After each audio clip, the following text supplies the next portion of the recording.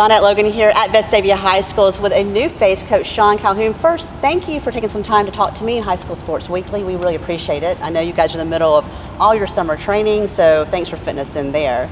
I want to ask you a question first, start off a little light. You came from the Georgia area.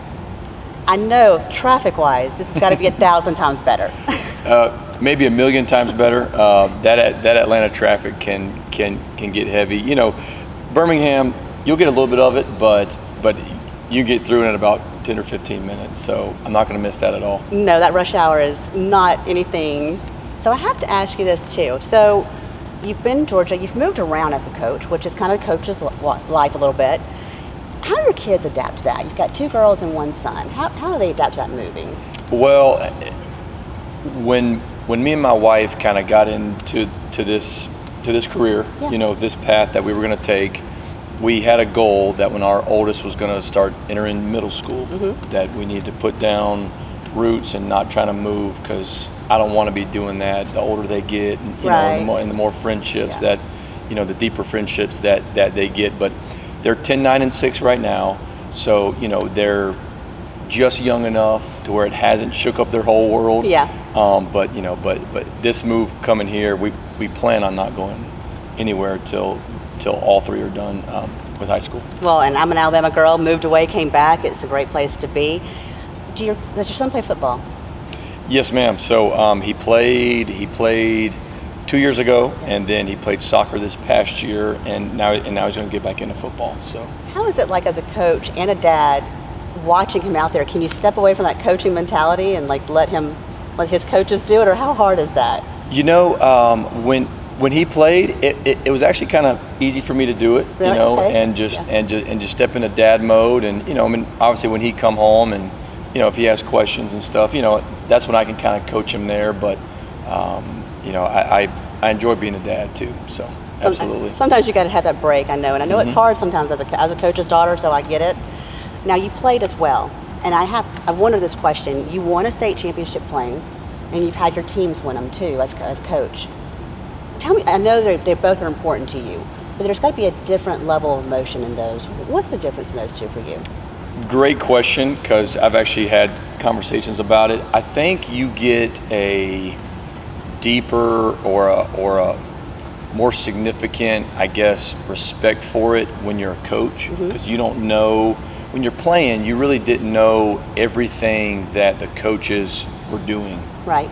The hours and the hours that they put in, and film and the, you know just everything that goes along with being a coach. You know, players, you know, we kind of show up and you just kind of perform. Right. You know, and you prepare and, and perform. You know, the you know the coaching the coaching aspect of it is is a lot more than that. So that was that was the glaring difference between the two for me. So I know you've coached several different teams and you've had obviously different players, but one thing that I wanted to ask you about, you had a linebacker that was undergoing chemo whenever you were a coach and you have those tough situations. How did that impact you as a coach and just as a dad with that team? Oh, um, that, that's a that's a loaded question. Um, his name was Chase McDaniel, and um, you know, and I have my my my my sentimental uh, memorabilia that obviously that I that I brought with me here. Um, you know, his his impact and just his life and how he was when he got diagnosed all the way up to the day he passed away, you, you know, just um, what it meant to me and how it's kind of changed my life just with, you know, with just how to attack every day and, yeah. and, and when obstacles do, do, do come in your way, because obviously that's life and, you know, and just seeing the faith of him and the faith of his family and their strength, it was, I mean, it was truly, truly inspirational. You know, I think people tend to forget that the coaches you are impacting them, they impact you a lot as well. You've, you've been here since January. What's the impact been so far here with the Rebels?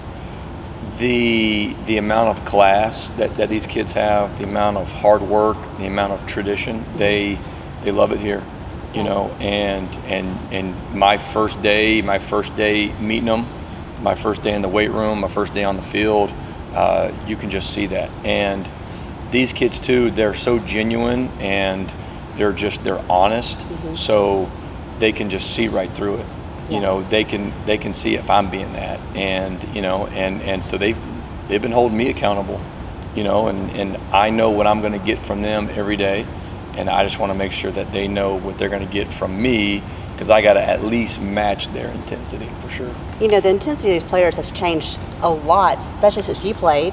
Mm-hmm. And now, I mean, you've got they've got nutrition coaches, they have weight training coaches, they have you guys coming in and coaching them. Um, so when you've got kids that are now on that recruiting trail, what are you telling them to make them stand out?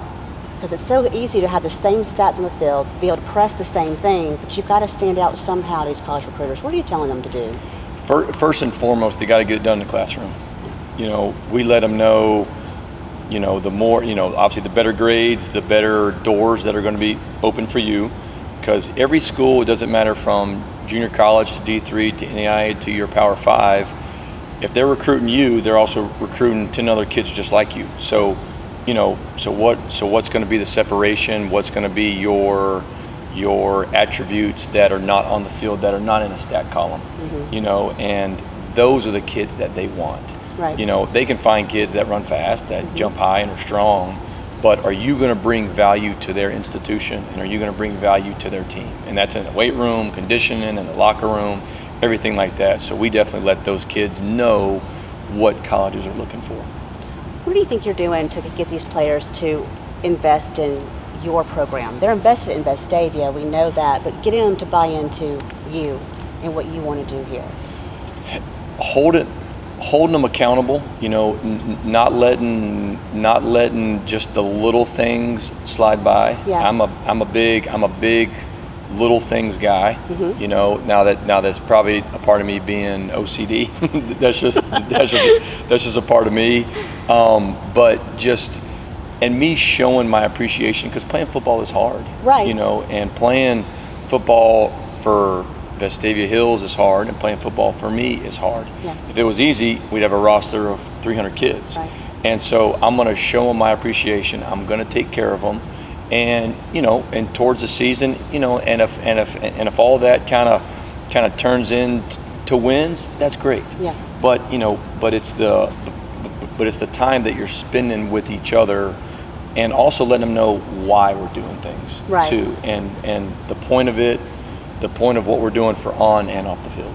You're a little bit younger than what we had here before, um, and I think the coaches are getting younger. You're 39. Yes, ma'am. Do you think being younger and not really closer, I guess, to the coach, mm-hmm. the player's age, but a little bit. Do you think it that is. allows you to connect with them more? Absolutely, and you know, and, and they're still older coaches yeah. that are still coaching that, that, that do fantastic that connect with them too. Yeah. You, you know, because when Coach Anderson started, he was younger than me. So, yeah. um, but yes, just because you know kids are kids are changing, generations are, are changing, but the game of football is changing, and yes.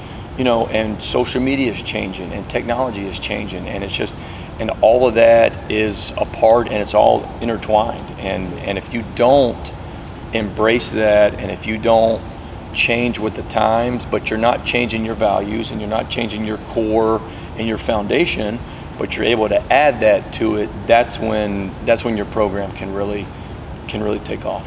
You know, and I, I didn't want to ask you any football questions really because for one, it's just too early to talk about a team. You know, you're, you're getting to know your guys, but you are filling some big shoes. You know, Coach Anderson was here for more than four decades, and I know that people, when the change came, they were like, who are we going to get? Mm-hmm. Is it going to be the expectation we have? Is he going to be able to build onto the foundation we have here at Vestavia? For that, those alumni and those parents, what would you say to them?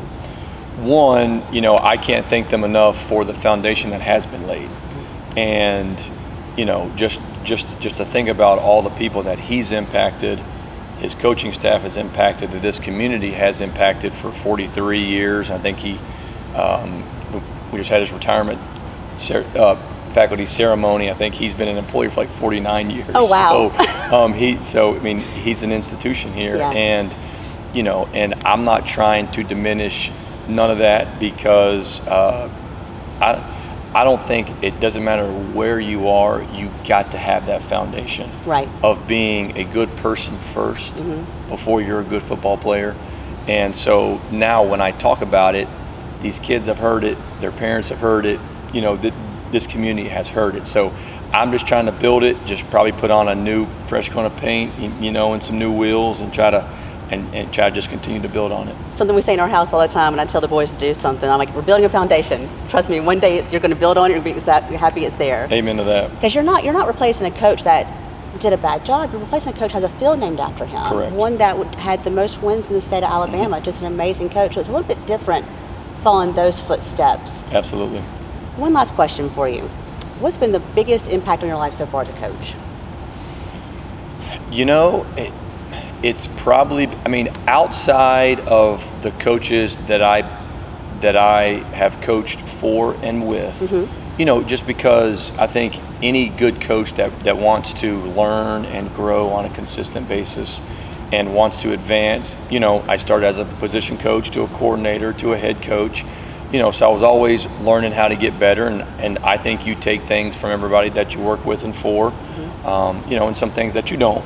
Yeah. But also, uh, you touched on it. I think that Chase McDaniel um, situation because you can go to coaching clinics and you can read coaching books, but that's a topic that's never talked about. Right. About you're, you're how- never taught how to deal with that. No, and how to deal with a full football program and a community, and your football program is 14 to 17, 18 year olds, Their family. and their and and so their and so their brothers going through it. So Right. how so how do you how do you lead everybody and lead yourself every day through that?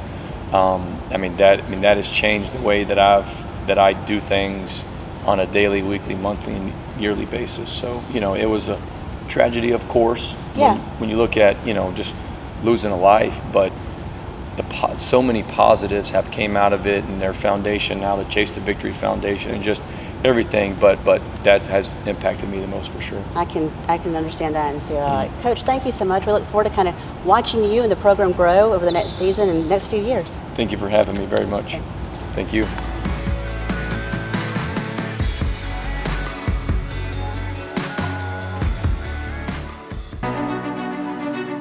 When it comes to an injury, you shouldn't have to be a professional athlete to get professional care. In fact, you shouldn't have to be an athlete at all. At OS1, we understand that orthopedic injuries occur to all types of people at all times of the day. Our convenient location allows you to get immediate attention without having to go to an emergency room. We have on site digital x ray and MRI, and our sports medicine specialists are fellowship trained and are here to get you back to it, whatever it might be. The best part is that OS1 is generally less expensive than the ER, and our decreased wait times make sure you are able to spend less time waiting and more time getting better. For more information or to book an appointment, please visit our website at bettersooner.com or just come to our Hoover location. OS1 Sports Injury Clinic. Get better sooner.